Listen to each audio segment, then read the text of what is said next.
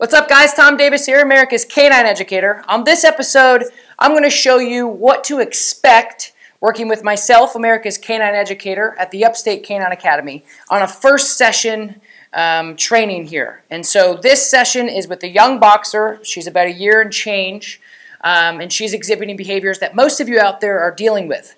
Jumping on people, pulling at the leash, um, we didn't expect to film this. We just popped it on because the camera was ready to roll. I threw on my equipment and there we were. And so I just wanted to put this video together to show people how we do things here at the Upstate Canine Academy, what to expect when you're here working with myself, my staff, um, or when I'm on the road, um, you know, traveling, what to expect working with me. I really, really focus on relationship building and communication, as you can see in the video. And so this is a young boxer coming in. I haven't touched the dog. I haven't met the, the, the owner before. Um, so they came in, we did a consultation, we started training immediately. And I just want to show you um, how training should be, um, in my eyes, as far as, you know, less stress, more education, uh, more lecture. Um, there's just there's so many people out there that are great with dogs, but it's really really important to extend that to the owner. And at the end of this video, I don't put the owner on the film just for respect issues, and you know it's her first session. But um, at the end of the episode, she was able to walk out of here with with no issues at all. When she came in, as you see in the video, she was pulling her way in, and um, it's a little bit bit chaotic. And so this is what to expect working with myself here at the Upstate Canine Academy for your first session. And I hope this helps any of you dealing with, you know, the majority of people at home probably do deal with this jumping and, and, and pulling on the leash and lack of communication. You say no, the dog says I don't care. Um, and so I hope this helps uh, anybody at home. And we flicked on the camera and it actually came out uh, beautifully, I think. So enjoy this video. If you have any questions, just um, put them below in the comments and we'll talk to you later.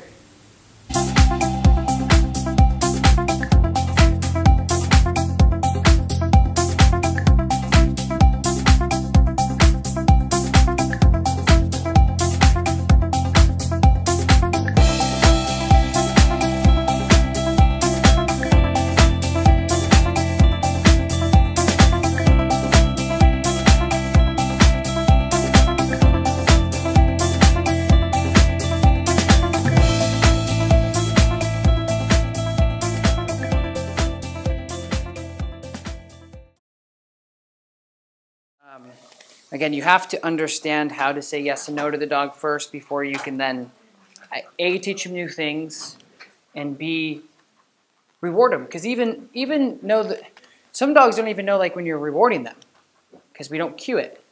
We're just like, oh, good job, you're doing good, and they're like, this means get crazy, but it's it's like not structured, right? So like if you were like, oh, hey, like good job, and you freak out and you talk high pitch and you're getting really excited the dog doesn't understand that that's like, oh, I did good. That just means, okay, now we're getting crazy together.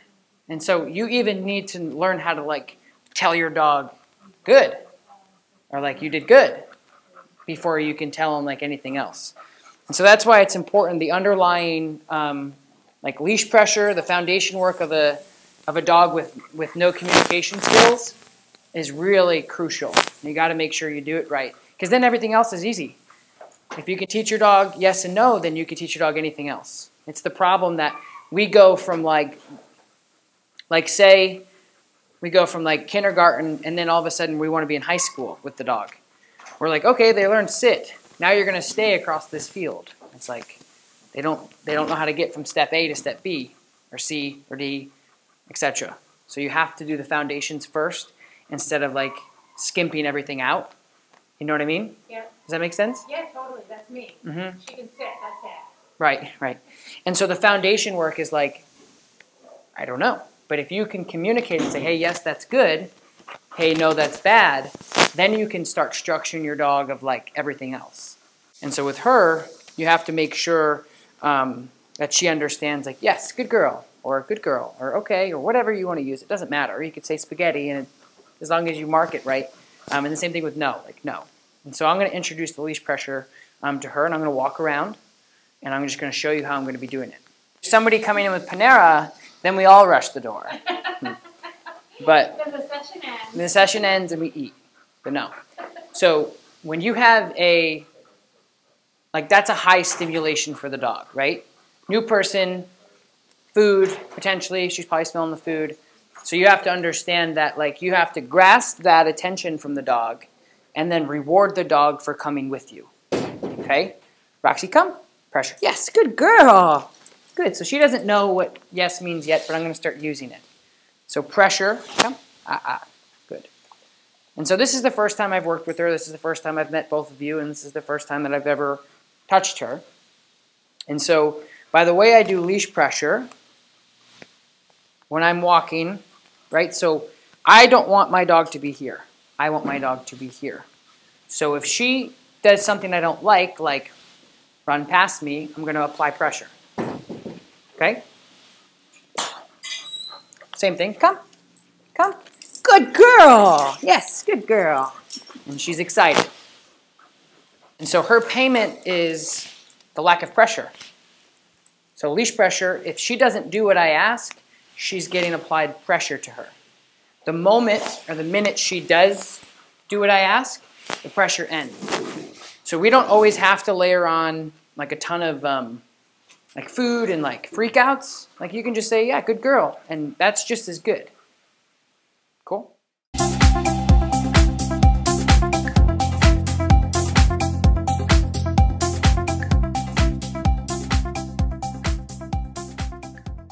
And so it's a good question. And so when I correct a dog or I tell a dog, no, bad, I'm just flicking my wrist with my pinky and my ring finger. I'm just flicking my wrist. Okay, so when I move forward, I turn. Ah, ah. Good. So she did exactly what I asked. I didn't correct her for it. So a lot of people that I work with make the mistake of they think every time that they stop or do something with the dog, they have to correct the dog. You only have to correct the dog if they don't do what you ask. You're actually using the correction to shape the behavior you want. Right? So you don't always have to use the corrections. It's just you're forming the dog and shaping the dog to what the behavior you want. Come. Ah. Right? So I move forward. Come. Ah. I even come. see you moving Come. I'm not yet. But if I do, I'm not moving my wrist yet. But if I need to, I'm, I'm only flicking my wrist. Ah, pop. Okay, forward. Ah. Come. Ah, ah. Come. Ah. Come. Ah, ah. Good girl. Good. Good. Good. So see how calm she is, right? Amazing. It's amazing, but it's easy. And when I say easy, is if you have the experience, like the experience, experience knowledge on like how dogs react when you can when you can hone yourself in and zone yourself in on a really good energy and like this is what dogs like. Like I'm I'm not even talking. I haven't even said anything to her really, but I'm talking to her through a language that she understands, which is body language, and that's important. Come, Rex, come. Come, good girl. Good girl. And she's a little wiggle butt. She's, she's super excited. So I'm going to do it again. So I'm going to stop and go. Ah. Ah, ah. Ah, ah. Right. So my little verbal cue, ah. Ah.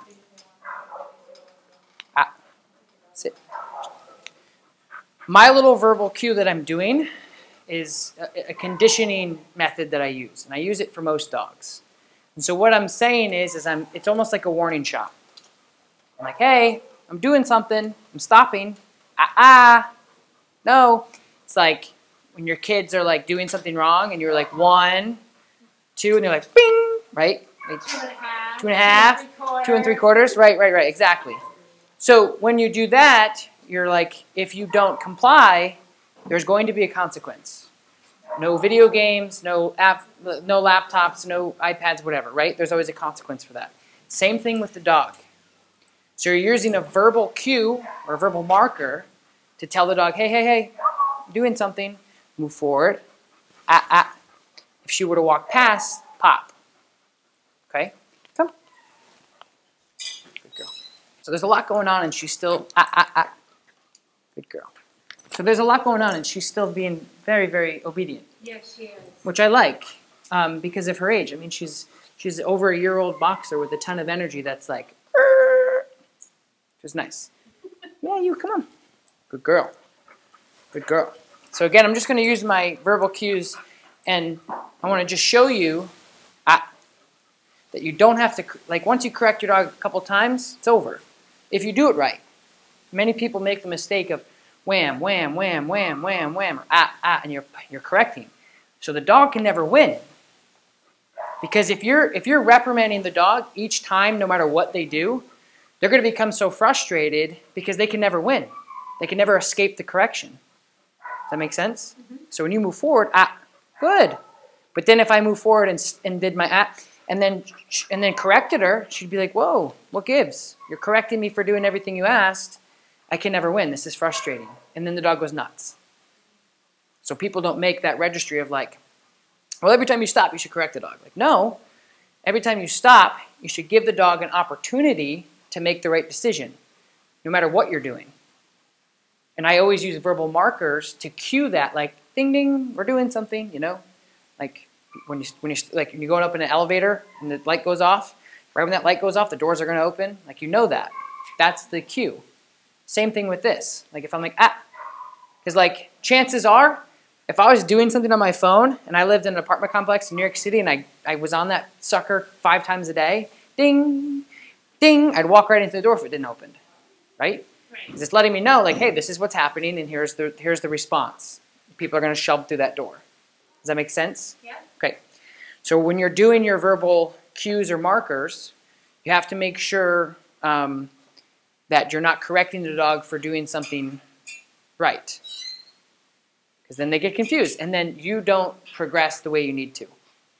So I'm going to do this one more time. Come. Ah, ah. Sit. Sit. Good. Oh, good girl. Good girl. Okay. Come on. Do is verbal markers and then without verbal markers. And I want you to see you know, how she reacts because the dog will condition itself on me entirely of what I provide to the dog. Okay? So we're going to move forward. Come. Ah. Good. Come. Ah, ah. I made it hard on her. Move forward really quick. Ah, ah. Sit. Good. So I corrected at the same time as she was sitting. So that's a mistake on my part. Because she started to sit and I corrected her anyway. But that's my mistake, not hers. Come.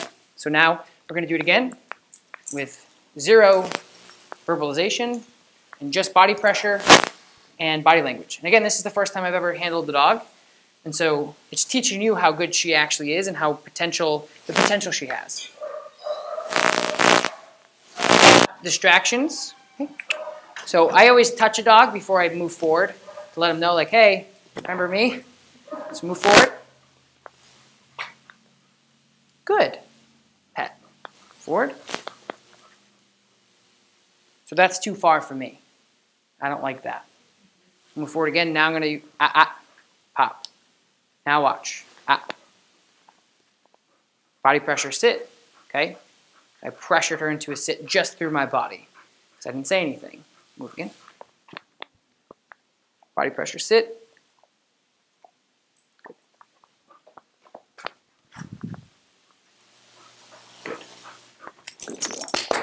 Good girl.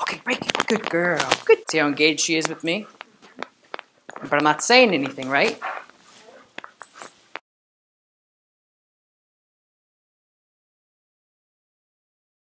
Good girl. Ah, ah. Okay, come on. Ah. Good girl. Good girl. Good girl. Ah. So that's without any pressure.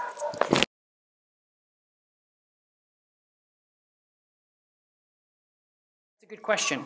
So your marker, she jumps up, correction down.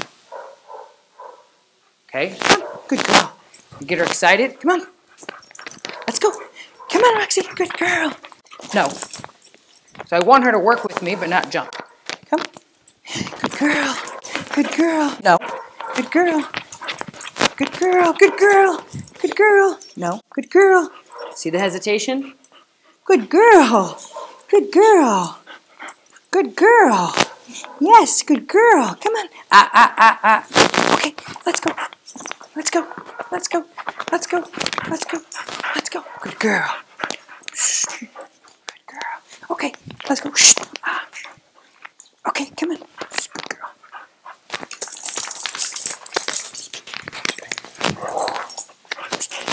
Good girl. It's a good girl. Oh, it's a good girl. So you see that? It's all off what I'm giving back to the dog.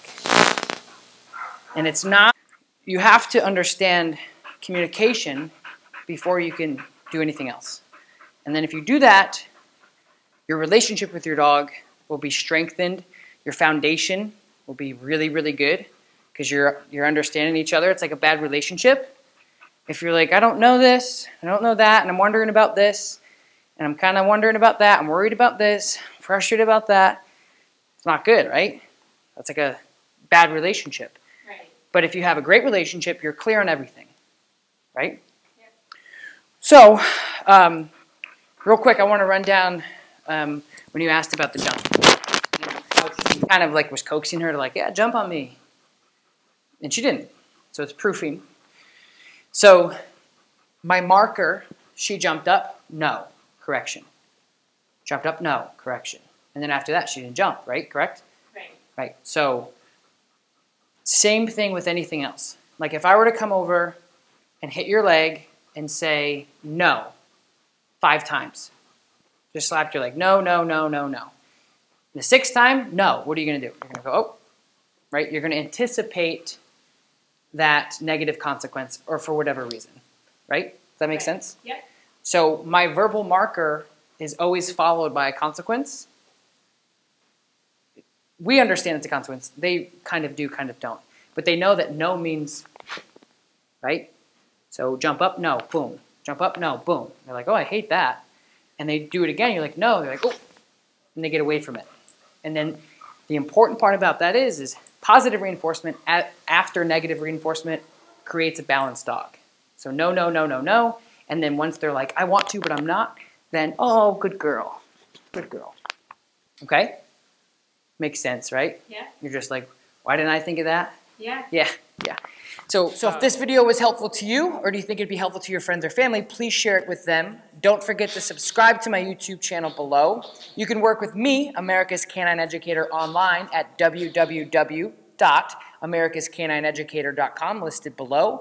You can join my online uh, portal, work with me every single day, and travel with me. Uh, grow your dog business, work at wolf sanctuaries. Mo- most importantly, fix your dog problems. I've had a huge success rate online by FaceTiming people, and it's been super, it's just been incredible. I, I honestly didn't know how, how it would work at first, and I got to tell you, it's, it's, just as, e- it's just as easy to train a person how to train their dog via FaceTime and help them out through video. So thank you guys so much for your valuable time. Don't don't don't forget every single Monday I'm going to be doing this um, on my YouTube channel. So you keep asking questions and I'll keep answering them.